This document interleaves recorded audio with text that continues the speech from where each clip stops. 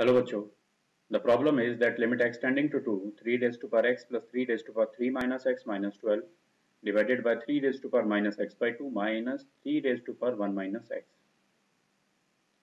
So the problem is limit x tending to 2 it is 3 raised to power x plus it can be written as 27 into 3 raised to power minus x minus 12 similarly ये आपके पास है three raise to power minus x by two और इसे हम लिख सकते हैं that it is three multiplied with three raise to power minus x अब देखिए, इस लिमिट को सॉल्व करने के लिए हम एक अज्यूमशन कर लेते हैं that let three raise to power x by two is equal to y so when x tends to two y tends to three क्या x का वैल्यू टू होते ही it is 3 raised to power 1 means y tends to 3 so, therefore, अब जो limit है it is limit y tending to 3 3 raise to power x means y square यहाँ से इसे लिख सकते हैं that it is plus 27 upon y square minus twelve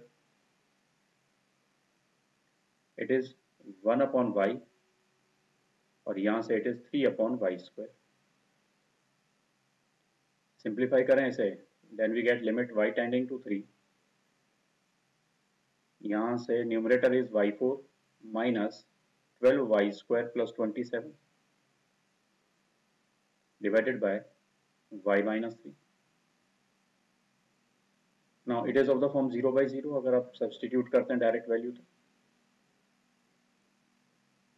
अब या तो हम इसे फैक्टराइज कर लें, या फिर हम एल हॉस्पिटल रूल यूज़ कर लें।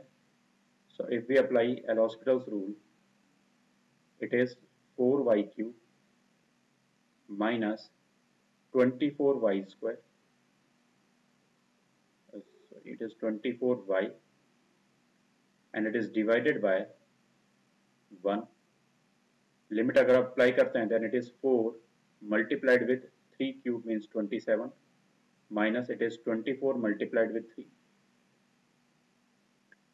So it is 108 minus 72. So we get 36.